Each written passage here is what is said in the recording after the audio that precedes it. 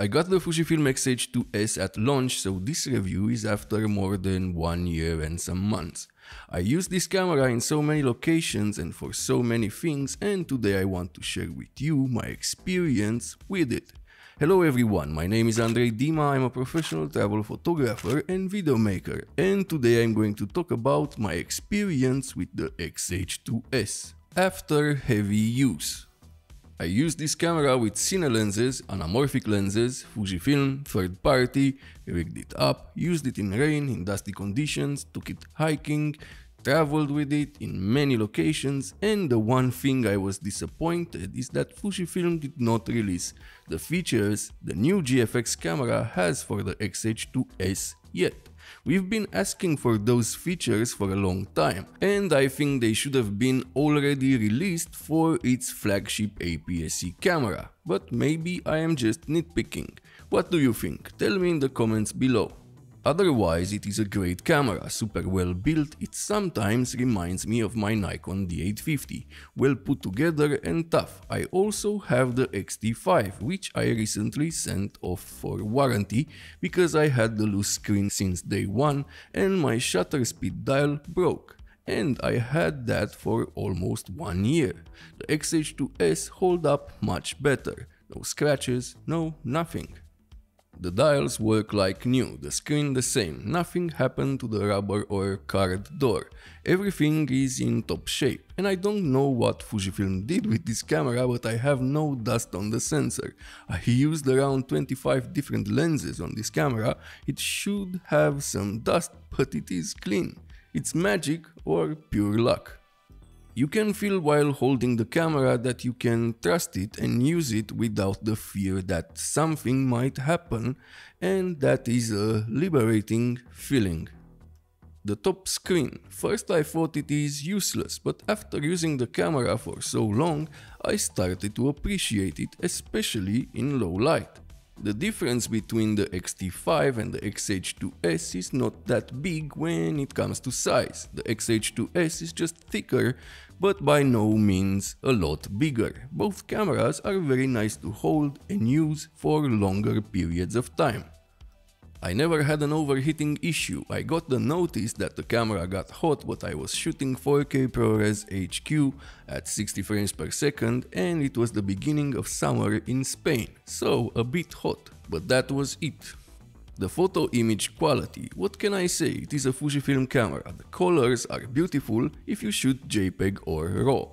The colors are a bit warmer than the ones on the X-T5 or the X-T4 and I like that, it reminds me of my X-E2 or X Pro 2.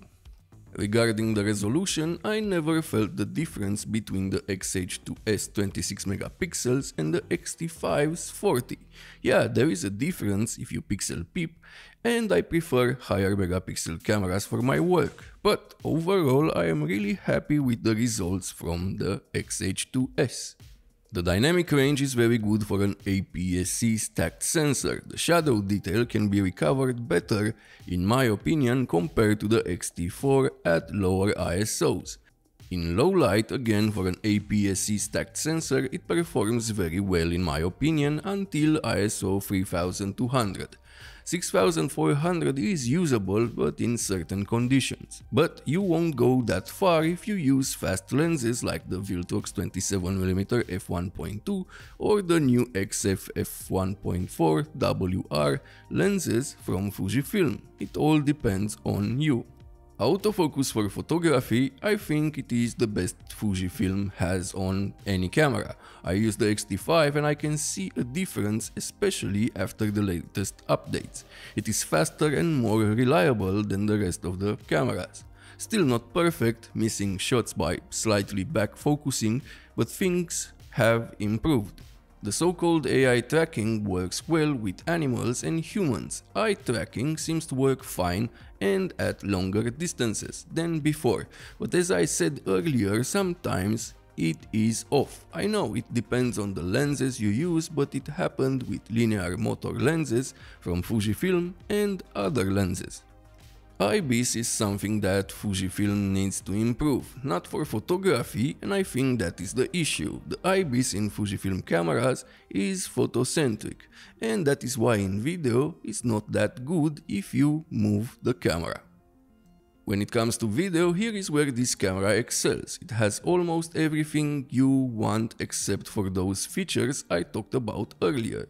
I can live without vector scopes and anamorphic desqueeze because I use an external recorder, but I really want touch tracking.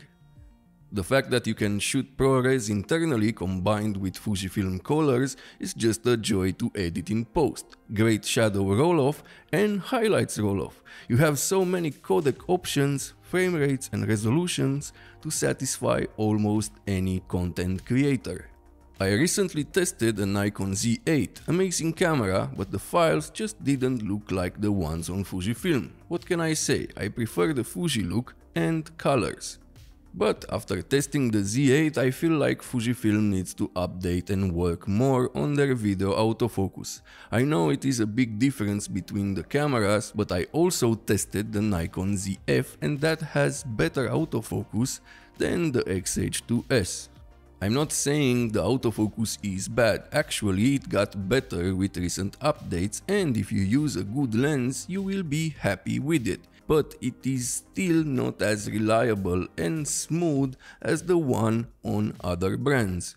Enough about autofocus, it seems everyone is talking only about autofocus. This camera has so much more to offer than just autofocus, you could shoot a movie with it. In my opinion, there is so much value for money when it comes to this camera now that it dropped in price. Speaking about great features, F-Log 2 is just amazing for a video, 14.2 stops of dynamic range and the files clean so nice in post.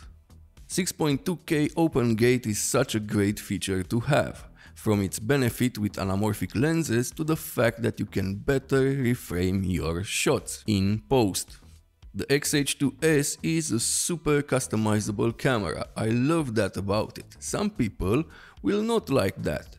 You have so many options for almost everything, but I like that.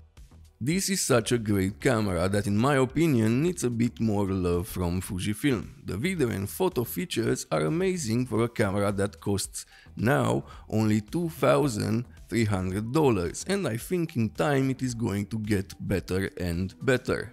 I loved using it in my travels alongside my X-T5. I still think it is the best APS-C camera ever made and maybe the best camera Fujifilm ever made, but it still needs a bit more support. I hope this video was helpful. If it was, subscribe and ring the bell to get notified when I release new videos. And if you want to support the channel even more, use the links in the description. See you next time.